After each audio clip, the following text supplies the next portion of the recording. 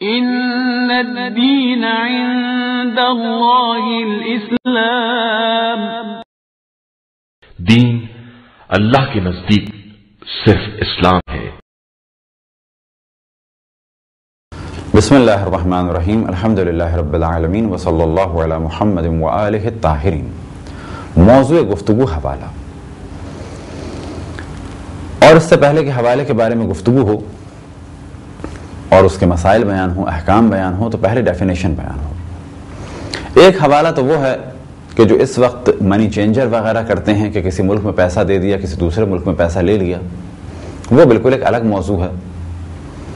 اس وقت ہماری گفتگو ہے اس حوالے کے بارے میں کہ جسے فقہ میں حوالہ کہا جاتا ہے۔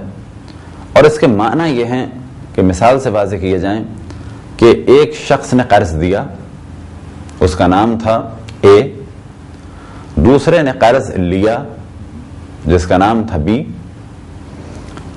اب یہ بی یا پیسے نہیں دے سکتا، یا فقیر ہو گیا ہے، یا ملک سے جا رہا ہے۔ اور میں کہ جو ان دونوں کہ جان پہچان کا فرد ہوں یا نہیں ہوں، لیکن بی نے اے سے بات کی۔ کہ میرا قرض یہ سی لوٹائیں گے۔ میں بھی راضی ہوں اور کہتا ہوں کہ میں بی کا قرض لوٹاؤں گا، میں تمہارا حق تمہیں دلواؤں گا اور میں دوں گا۔ یہ ملک سے جا رہے ہیں یا پریشان حال ہیں، تم فکر نہ کرو، میں دوں گا۔ جس شخص نے قرض دیا ہے، وہ راضی ہو گیا اور بی سے کہتا ہے، کوئی بات نہیں۔ میں سی سے پیسے لے لوں گا میں راضی ہوں۔ اس کام کو کہا جاتا ہے حوالہ۔ یعنی بی نے اپنا قرض میرے حوالے کر دیا۔ اب اے بی سے پیسے نہیں مانگے گا، بلکہ وہ سی سے مانگے گا یعنی مجھ سے مانگے گا۔ اور اگر میں نے یہ قبول کر لیا ہے تو مجھ پر واجب ہے کہ میں اس قرض کو اتاروں۔ اس کام کو فقہ میں کہا جاتا ہے حوالہ۔ قرض لینے والے اور قرض دینے والے یعنی جس نے قرض اور پیسہ دیا ہے اور جس نے لیا ہے۔ اور جس آدمی کی جانب یہ حوالہ دیا جا رہا ہے۔ ان تینوں کے بارے میں شرط یہ ہے کہ وہ بالغ ہوں، عاقل ہوں، صفی نہ ہوں اور ان افراد میں سے نہ ہوں کہ جو اپنے مال کو استعمال نہیں کر سکتے یعنی محجور نہ ہوں۔ اور حجر کے بارے میں گفتگو ہوئی کہ اگر کوئی شخص بینک کرپٹ ہو جائے تو وہ پھر اس قسم کے معاملے نہیں کر سکتا۔ اسی طریقے سے اگر وہ صفی ہو، بہت زیادہ بے وقوفی کی ڈیلنگ کرتا ہو تو وہ بھی محجور ہے، وہ یہ کام نہیں کر سکتا۔ اسی طرح سے نابالغ بچہ محجور ہے، وہ یہ کام نہیں کر سکتا۔ تو یہاں پر تو پہلے ہی شرط بیان ہو گئی کہ وہ بالغ ہو، عاقل ہو صفی نہ ہو یعنی ہے تو عاقل لیکن کام بے وقوفی کر کرتا ایسا بھی نہ ہو اور محجور نہ ہو۔ اور جس آدمی کی جانب حوالہ دیا جا رہا ہے، وہ بلاخر اس قرض کو ادا کر سکتا ہو۔ مثال کے طور پہ اے نے ایک کروڑ روپیہ قرض دیا بی کو اور اب بی کہتا ہے مجھے یعنی سی کو کہ یہ قرض میں ادا کروں گا تو میں ایسا تو ہوں جو ایک کروڑ روپے ادا کر سکتا ہوں۔ جس شخص کو حوالہ دیا گیا ہے یعنی وہ تھرڈ پارٹی کہ جس نے قبول کیا ہے کہ میں قرض دار کا قرض ادا کروں گا۔ تو پہلے تو کچھ شرائط قرض دار اور قرض خواہ۔ قرض دار یعنی جس نے قرض لیا ہے، قرض خواہ کہ جس نے قرض دیا ہے۔ اب اگر میں تیسرا شخص حوالہ قبول کر لوں یعنی میں یہ قبول کر لوں کہ جسے پیسہ دینا ہے، اس سے یہ کہوں اور قبول کر لوں کہ تمہارا قرض میں ادا کروں گا اس شخص کے بدلے۔ البتہ اس میں تینوں راضی ہوں جو ہم پہلے بیان کر چکے ہو تو مال معین ہونا چاہیے۔ کہ کون سا قرض اور کتنا قرض۔ مثال کے طور پہ یہ دو تین دفعہ قرضہ لے چکا ہے، تو جس قرض کے بارے میں ہمیں حوالہ دیا گیا ہے، وہ کلیئر ہونا چاہیے کون سے سال کا اور کتنا قرض۔ لیکن اگر قرض ایک ہی ہے، وہ تو واضح ہے، لیکن اس کی اصل رقم واضح نہیں ہے اور وہ کہیں لکھی ہوئی ہے اور مجھے یہ بتایا گیا ہے اور میں اس پہ راضی ہوں کہ پچاس ہزار سے زیادہ نہیں ہے اور میں اس پہ راضی ہوں کہ صحیح ہے میں دے دوں گا اور اس وقت معاملہ ہو گیا یعنی جسے پیسہ دینا ہے وہ راضی ہے کہ جس سے لینا تھا اس کے بجائے وہ مجھ سے لے لے گا اور مجھے بھی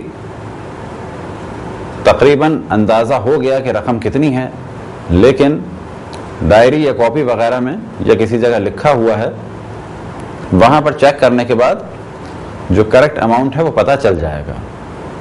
لیکن اس وقت منیمم اور میکسیمم کا مجھے اندازہ ہے اور میں نے قبول کر لیا ہے، تو ایسی صورت میں گو کہ صحیح تعداد کا علم نہیں، لیکن پھر بھی ایسی جگہ پر حوالہ صحیح مانا جائے گا۔ اب اس توجہ رہے کہ حوالہ دینے کا بھی وقت ہے اور وقت یہ ہے کہ یہ حوالہ قرض لینے سے پہلے نہیں ہوگا، بلکہ قرض لینے کے بعد ہوگا۔ فرض کریں کوئی ہم سے کہتا ہے کہ آپ قرض ادا کر دیجیے گا، میں قرض لے رہا ہوں تو یہاں پر حوالہ صحیح نہیں ہے، بلکہ پہلے وہ قرض لے۔ اور جب وہ مقروض ہو جائے تو پھر وہ ہم سے کہے گا کہ آپ قرض اتار دیں۔ پھر جس سے قرض لیا ہے اسے بتایا جائے گا۔ اگر وہ قبول کرتا ہے تو حوالہ صحیح ہے، لیکن قرض سے پہلے احتیاط یہ ہے کہ حوالے کو صحیح نہ مانا جائے۔ فرض کریں کہ ہمیں کسی کا قرض ادا کرنا تھا، ہم نے کسی کو حوالہ دیا یعنی اس سے کہا کہ تم ہمارا قرض ادا کر دینا۔ لیکن جسے قرض چاہیے، وہ قبول نہیں کرتا۔ ہے وہ کہتا ہے کہ میں تم سے ہی لوں گا، میں انہیں قبول نہیں کرتا ہوں۔ تو یہ اس کا حق ہے، وہ بے شک قبول نہ کرے۔ فرض کریں کہ وہ یہ چاہتا ہے، جس نے ہمیں پیسہ دیا ہے کہ ہم ہی سے لے۔ تھرڈ پارٹی سے وہ لینا نہیں چاہتا۔ لیکن اگر اس نے قبول کر لیا ہے اس معاملے کو کہ ہم سے نہیں، اس سے لے، تو بعد میں وہ اسے ختم نہیں کر سکتا۔ مگر یہ کہ تینوں نے قرارداد میں اس چیز کا ذکر کیا ہو یا اس معاملے کے وقت اس چیز کا ذکر کیا ہو کہ جب بھی ہم میں سے کوئی چاہے تو اس معاملے کو ختم کر سکتا ہے۔ جس شخص کو حوالہ دیا گیا یعنی جس شخص نے قبول کی ہے، یہ ذمہ داری کہ میں قرض اتاروں گا۔ اگر وہ فقیر تھا یعنی مال نہیں رکھتا تھا، اور قرض خواہ نے یعنی جسے یہ پیسہ دیا جانا تھا، وہ جانتا تھا، تو ایسی صورت میں وہ یہ معاملہ ختم نہیں کر سکتا۔ لیکن اگر اسے یہ بتایا گیا تھا کہ اس کے پاس مال ہے، لیکن در حقیقت وہ فقیر تھا، تو پھر ایسی صورت میں قرض خواہ یعنی جس نے کسی کو قرض دیا تھا، وہ یہ معاملہ ختم کر سکتا اور کہہ سکتا ہے کہ تم ہی مجھے پیسے دو گے، میں تھرڈ پارٹی سے پیسے نہیں لوں گا۔ اگر ہم نے کسی کا حوالہ قبول کیا یعنی ایک شخص نے قرض دیا تھا اے نے بی نے قرض لیا تھا۔ بی نے ہم سے کہا کہ آپ میرا قرض اتارنے کی ذمہ داری لے لیں۔ تو جب تک میں وہ اماؤنٹ کہ جو قرض کی صورت میں تھا اور مجھے اتارنا تھا، جب تک وہ میں نہ اتار دوں، اس وقت تک میں بی سے پیسہ طلب نہیں کر سکتا۔ اور اگر اے یعنی جس نے قرض دیا تھا، وہ پچاس ہزار کی جگہ اب کہتا ہے کہ خالی تیس دے دو، بیس میں نے معاف کیے تو میں اسے تیس دوں گا۔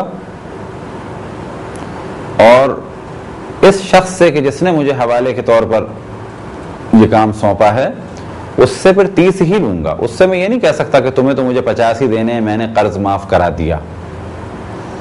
قرض معاف ہو گیا۔ تو ایسی صورت میں جتنا میں نے پیسہ دیا ہے، میں بی سے اتنا ہی پیسہ لے سکتا ہوں، اس سے زیادہ نہیں لے سکتا۔ مگر یہ کہ وہ اپنی خوشی سے کچھ دے دے تو الگ بات ہے، لیکن میں طلب نہیں کر سکتا۔ یہ تھے کچھ مختصر سے احکام حوالے کے۔ خداون تبارک و تعالیٰ سے دعا ہے کہ بحق محمد وال محمد ہمیں اپنی، اپنے رسول، اپنی حجتوں، خصوصاً امام زمان علیہ صلاۃ والسلام کی معرفت اور اطاعت کی توفیق عطا فرمائے۔ صلی اللہ علیہ محمد و